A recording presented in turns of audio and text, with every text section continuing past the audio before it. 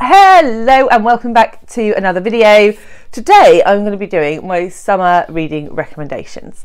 So I'm going to confess now, usually I try and do my seasonal reading recommendation videos outside um, in nature. However, however, I am really, really struggling for time at the moment and getting out and finding a spot and setting up and all of that just isn't possible at the moment. So what I'm going to do is I'm going to film it, sat here, and I will try and take some B-roll of the beautiful summer that we are having here in the UK and overlay some of that on this video. Is my plan. Um, if that doesn't work out, I will delete this section and you will be none the wiser. So I have 10 great summer reading recommendations for you. So summer to me, I quite often want an easy read or something that's set in a hot country, something quite quick, fast paced. That's the sort of thing I want in the summer. Don't always get it, but that's that's what I'm aiming for. So these 10 books are books that sort of fit that brief, I suppose. And they're all fantastic books in their own right to read at any time of the year. So let's begin. Number one, the Borrowers by Mary Norton. This is a children's book. This is quite an old children's book. I expect many of you have heard of it, but in this we follow a family of borrowers who are very, very small people who live in a house and they borrow things from the house uh, spoons and thimbles and bits and pieces that they then populate their own house with. And the sort of teenage daughter whose name escapes me wants to sort of get out and explore more, but she, she, you know, seeing humans is seen as like you can't do that because they'll squash you. So um, yeah, this is such a charming book, and I reread this to my nine-year-old Sam a couple of years ago, and I was worried that it wouldn't hold up the test of time because I read it when I was a child, and it felt um, quite old-fashioned then um, it certainly felt a lot more old fashioned when I read it to Sam, but he adored it and so did I because it just is cozy and delightful and an absolutely great read for the summer if you want something a bit lighter and easier. The next book I'm going to re recommend is The Time Traveller's Wife by Audrey Niffenegger. So I'm recommending this for two reasons. Firstly, because it is really fast paced, it sucks you in, you cannot put it down. It is a love story, which generally is not my jam, but we follow Henry, who is a time traveller, uh, and his wife, who has to sort of wait while he goes off to different periods of time. Um, I won't tell you any more than that if you haven't read it because it's so masterfully done and you kind of just need to get into the world um, to see it. But also, on I think it's on Sky Atlantic, there is currently a new miniseries adaptation of this book, and I binged all five episodes last night and it was fantastic. So it's one of those where you could pick it up now, pick the book up now, and then watch the miniseries and sort of see the differences. And there are definitely differences, but I think it's working really well. The film with Eric Bana was also fantastic, um, so recommend that also. Next, I'm going to recommend Me Before You by Jojo Moyes. This is quite a sad book. This is about a young woman who becomes a carer for a paraplegic man and falls in love with him. And it is it does have a very sad ending, but the character of I have forgotten her name, but the character, the main female character, is really funny, really quirky. Just she's one of those characters that is so much fun to spend time with. I would absolutely recommend this book. I've read there's this is a trilogy now, so I've read all three of these, and they are really, really lovely books. Perfect holiday reads. So I would recommend. The next book I'm going to recommend is Little Fires Everywhere by Celeste Ng. In this one, we follow a mother and daughter as they move to a new town. They move around a lot. They have a secret, but we don't really know what it is.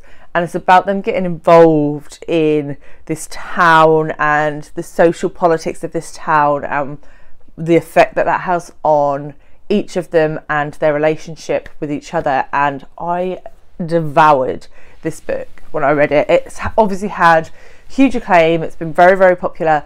If you haven't got to it yet, I would recommend picking it up this summer. Okay, fifth on the list is a book that will just cuddle you, and that is The House in the Cerulean Sea by TJ Klune, where we follow Linus, who assesses sort of foster homes for magical children.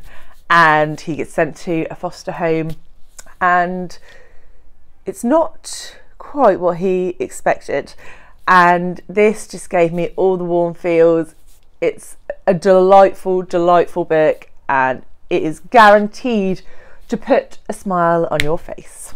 Okay so the next one is not quite so heartwarming and that is The Beekeeper of Aleppo by Christy Lefteri. And this follows a family who are fleeing Aleppo, uh, trying to get to the UK and the challenges that they face. It is really, really hard to read in places. It's really upsetting. I I'm not really sure why I put it on this list. I think because it's set in a hot country, but it, I think it's a really important book and it's one of the best books that I've read about sort of fleeing conflict zones and trying to get to uh, the UK. And it was beautifully done and heartbreaking. And it definitely is a fast read, so would recommend that one. Next up, we have another romance. Holy moly, there's been a few romances on this. Whose channel is this? And that is Get a Life, Chloe Brown by Talia Hibbert. This is laugh out loud funny. We follow Chloe Brown, who has fibromyalgia, and she makes a decision at the beginning of the book to stop letting that sort of dictate, and she's going to write almost a, a list of things that she wants to achieve in order to get her life back on track. And this was such a fun book. It's it is a romance, but it's just the humour in it makes it fabulous. And yeah, Really enjoyed it. Definitely one to read if your brain is feeling a bit full and you just want some light-hearted, brilliant entertainment. Next up is a book that I have read very, very recently, and that is Great Circle by Maggie Shipstead.